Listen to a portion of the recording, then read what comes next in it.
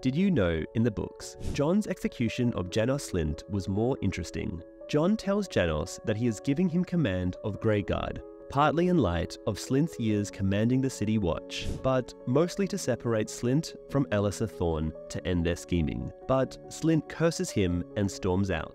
The next morning, Jon finds Slynt breaking his fast in the common room and announces that he is giving Slynt one last chance to drop his spoon and report to the stables to depart for Greyguard. After Slynt refuses him again and mocks him in front of his men and Stannis' men, Jon instructs Iron Emmett and Edd to take Slynt to the wall and hang him.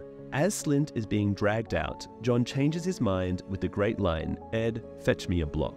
With his head on the block, Slynt desperately begs Jon for mercy. Jon refuses and carries out the execution. Watching from the steps, Stannis meets Jon's eyes and nods briefly in approval.